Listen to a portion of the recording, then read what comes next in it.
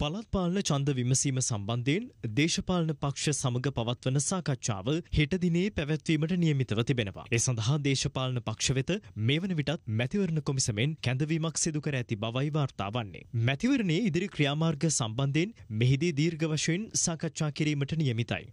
මැතිවරණයේ මුද්‍රණ කටයුතු සඳහා අවශ්‍ය මුදල් ලබා දෙන ලෙස රජයේ මුද්‍රණාලයද භණ්ඩාගාර ලේකම්වරයා වෙත අවස්ථා කිහිපයකදීම ලිඛිත ඉල්ලීම් සිදු කළා. කෙසේ වෙතත් මේ වන විට පවතින තත්ත්වය හමුවේ මැතිවරණය පැවැත්වීම සම්බන්ධයෙන් විවිධ ගැටලු මතුව තිබෙනවා. IMF ණය මුදල මෙරටට ලැබීමත් සමග එම මුදල් මැතිවරණය සඳහා වෙන් කළ හැකි බවයි ආර්ථික විශ්ලේෂකින් පෙන්වා දෙන්නේ. IMF එක සාමාන්‍යයෙන් වෙන සරවල් වල දෙන ණය දෙන ක්‍රමවේදයට වඩා වෙනස් ක්‍රමවේදයක් තුල තමයි මෙවර අපිට මේ පළවෙනි වාරිකය ලැබලා දීලා තියෙන්නේ. දැන් සාමාන්‍යයෙන් IMF එකේ ණය ලැබුණට පස්සේ ඒක මධ්‍යම බැංකුවේ සංචිත බවට තමයි පත් වෙන්නේ. නමුත් මෙවර ඒ සංචිත ඇත්තටම මහා භාණ්ඩාගාරය ගිණුම් වලට මාරු කර ගැනීමේ හැකියාව තියෙනවා රජයට හැකියාව තියෙනවා අයවැය හිඟය යම් ආකාරයකට පියවා ගැනීමට එහෙමනම් මැතිවරණය සඳහා අවශ්‍ය මුදල් මේකෙන් ලබා ගැනීමේ හැකියාව තියෙනවා. සාමාන්‍යයෙන් රටක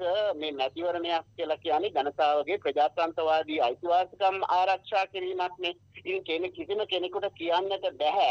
එය මේ වෙලාවේ අපේ ප්‍රයොරිටි ලිස්ට් එකේ නෑ. ඒ වැදගත් දෙයක් නෙවෙයි. ওই විදිහට තර්ක ගේමේ හැකියාවක් නෑ. සාමාන්‍ය ප්‍රජාතන්ත්‍රවාදී රටක මැතිවරණය කියන එක අනිකුත් අවශ්‍යතා මූලික අවශ්‍ය අවශ්‍යතා වගේම දෙයක්.